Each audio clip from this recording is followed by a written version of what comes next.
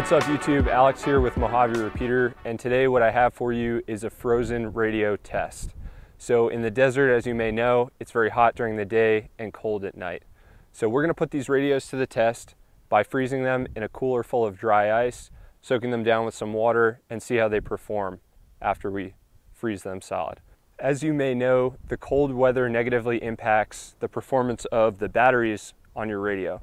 So one trick that we use in the military is we would take our radios and we would put them in our sleeping bag overnight and that would keep them warm to prevent the radio from dying overnight. So in the morning, whenever you go to do whatever you know mission that you set out to do, it's going to still work the next day. All right, so we have six different model radios here. Some are just cheap radios you can get on Amazon and some are duty rated uh, radios that have been in service with police departments and the military for many years.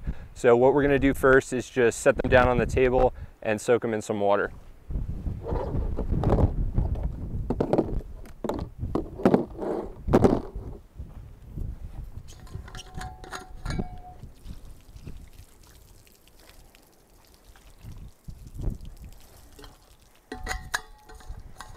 All right, now they're gonna go in the cooler for about five ten minutes and we're gonna see how they hold up.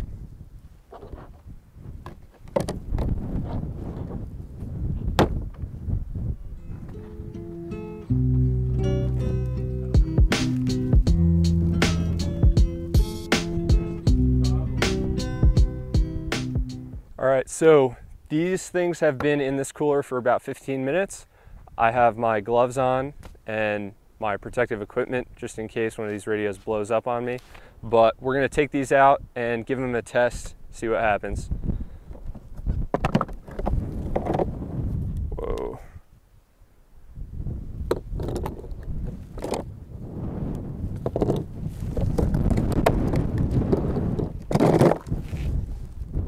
Damn.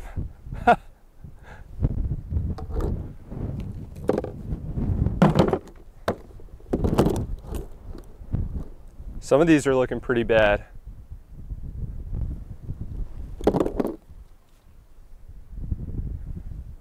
All right, so we're gonna start doing radio checks with the weakest radio first.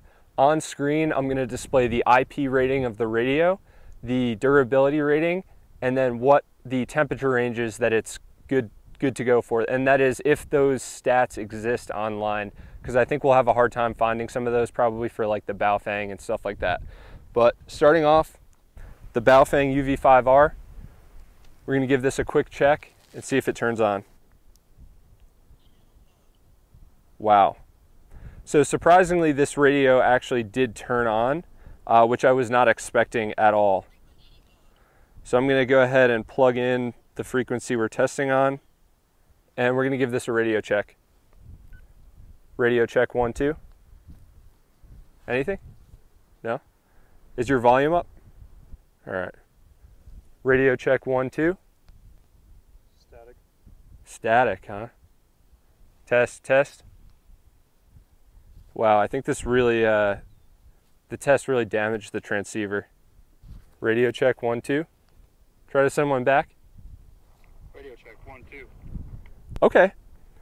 So I'm actually hearing radio checks come through on this, but when I try to transmit out, uh, the other end is just getting all static. So this radio is pretty much toast. Also, one thing that I'm noticing is the battery drained like very quickly. It's pretty much, it's showing like a dead battery right now.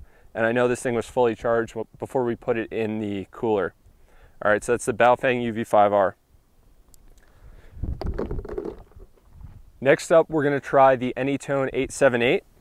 So this is a little bit more capable. It's a digital radio but we're gonna just test it on an analog channel.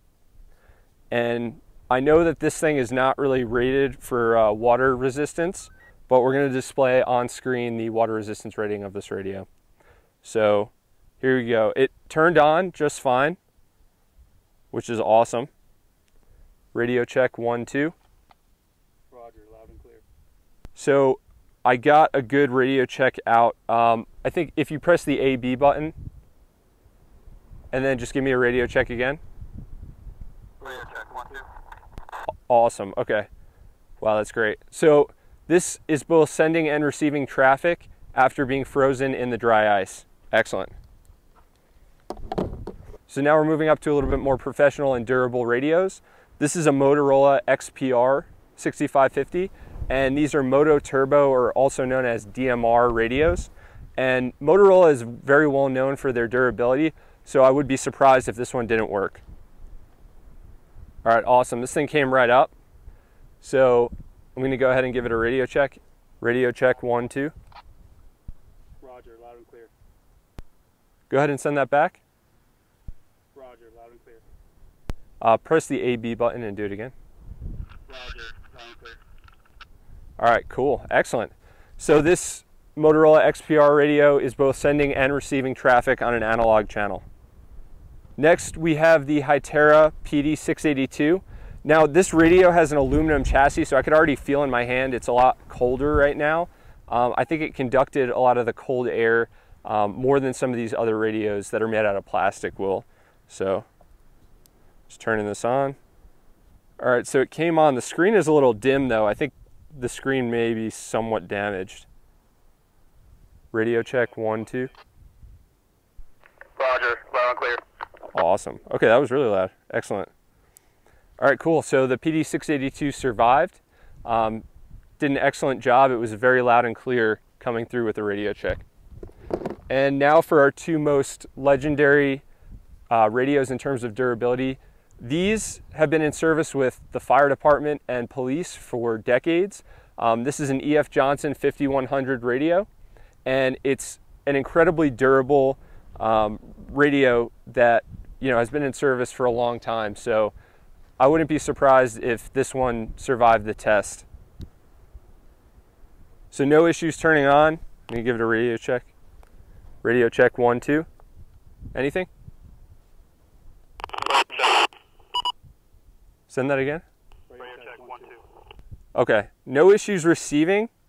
Um, but one thing I noticed is the battery is like completely dead, um, despite being charged to 100% last night, and it's not sending any traffic. So I'm actually I'm getting the red LED for transmit on the radio itself, but it looks like the microphone may have been damaged because it's not picking up any uh, any of my voice. All right, so that's that's kind of surprising. Yeah, I was definitely expecting this radio to work, but it looks like it is busted. All right, and finally, this is one of the most popular radios in public safety. Uh, this is the Motorola XTS 5000, and just like the EF Johnson, this is an extremely durable radio um, that's been in service for quite a long time. So I'd be surprised once again if this one doesn't work. That would really surprise me. All right, cool. Came on just fine, no issues there. Radio check one, two. Roger, loud and clear. Roger, loud and clear. Cool, excellent. All right, cool. So the XTS 5000, no issues whatsoever. This came on just fine. All right, so I hope this test today gave you a good idea about what you can do with your radios. Um, don't be afraid to get out there and use them. I mean, even something as simple as a Baofeng, even though it's not designed to withstand, you know, any sort of water resistance, it survived this test just fine. After dumping a bunch of water on it and throwing it in a cooler full of dry ice, you know, don't be afraid to get out there, use your radios, really put them to the test in a duty environment, in a duty capacity, um, and see what these things can do for you. Um, so I hope you enjoyed this test today. If you like this video, please leave a like, hit that like button down below and leave a comment and let us know what you liked about the video. Um, if you have any future ideas, hit us in the comments section and let us know what you want to see out of this channel. You know, if you really like this video and you want to see more from us, then your best indication for us is to just leave a comment and leave a like, and then we'll continue to produce more of these videos. So I hope you enjoyed this, and we'll see you in the next one.